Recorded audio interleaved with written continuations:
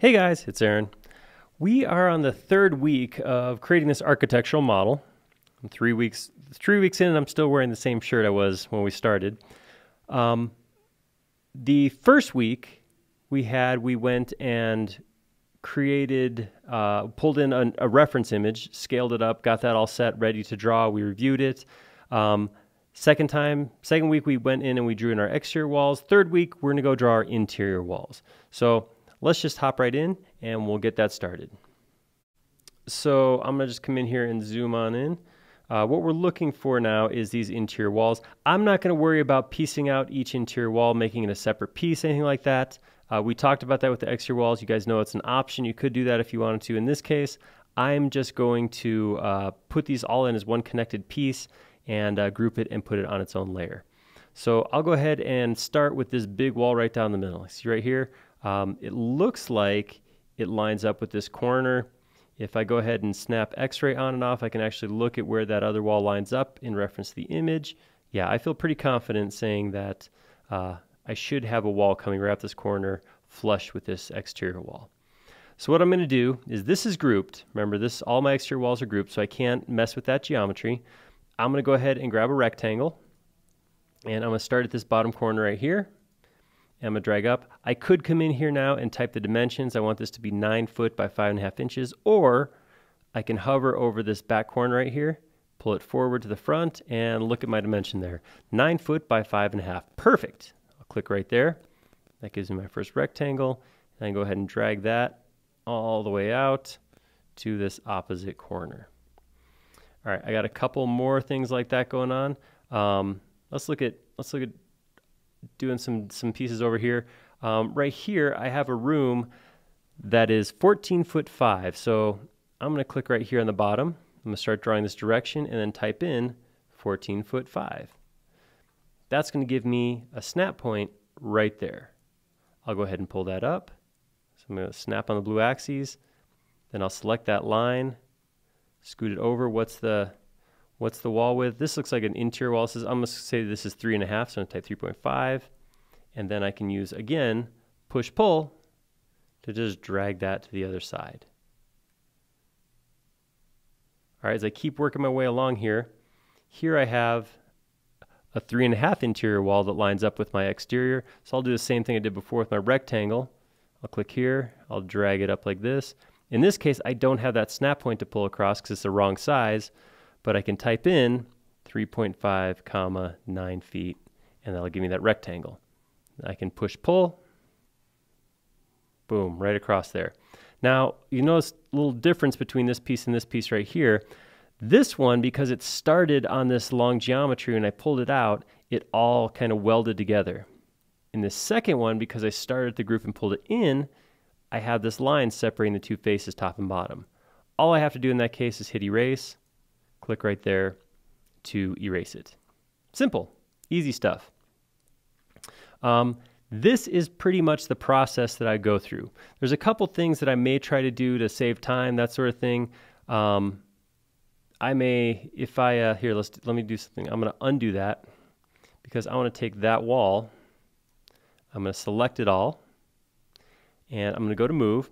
So I have two foot, one inch from the inside of this wall to the inside of this wall. So what I could do is I could grab the selected wall, select it, Option to make a copy, that's Control on Windows, and I could start to pull it across here. So I'm going on the red axis right now. Now if I move this over two foot one inch, it gets me close, but not quite because that is relative. So that's that's from this point to this point is two foot one. It should actually be three and a half inches further over. So Again, I haven't changed anything, so what I could actually type right now is I could just hop in and put a new dimension in, because I actually want that to be 2 foot, and then 1 plus the 3.5 inches is 4.5. That puts that where I want that to be. Perfect. Obviously, that's a little long. That's going to be an issue. But I could come in and actually make that change too. I could actually come here, let's see, we'll go escape out, and I could push pull this back to what it's supposed to be. Now, this is actually kind of a interesting way of doing things. What I could do right here is I could actually delete this, get rid of all these, because I know that this is supposed to be six foot three from the face and just pull that out six foot three. That's an option too. That gets me in the right spot. Here I have a, uh, a wall that's supposed to be right here. So what I could do, a lot of options here. I could draw a line straight across here, draw a line from there straight down, basically create that rectangle. Oops, went a little short right there.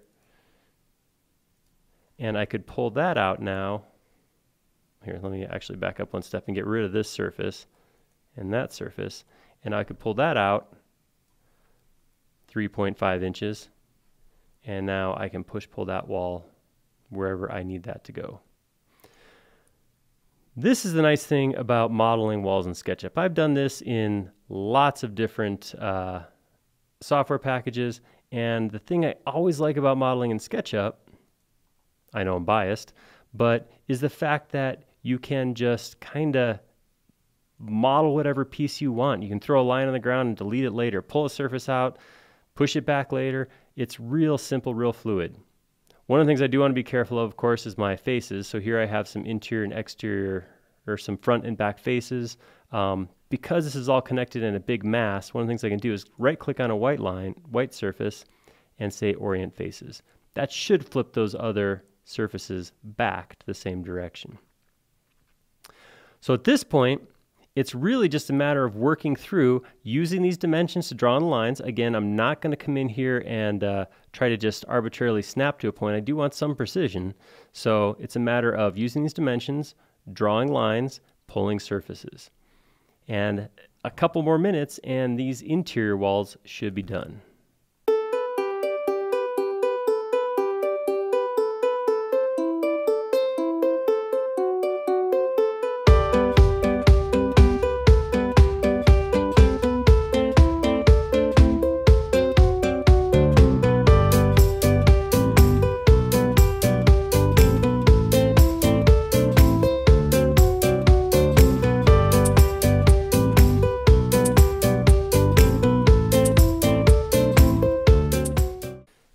There we go. Last step, of course, let me take all that, make it a group,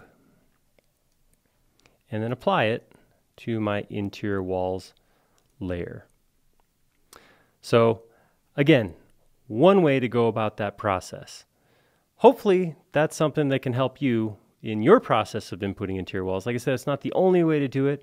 It's a, a, a, method of creating those interior walls. And hopefully there's a skill or two in there that maybe you haven't seen of before or haven't th- thought of. If you have a different way of doing it, let us know down in the comments below. While you're there, go ahead and subscribe or like, or maybe tell us more about what you'd like to see. We like making these videos, but like them a lot more when they're showing stuff that helps you with your workflow. Thank you.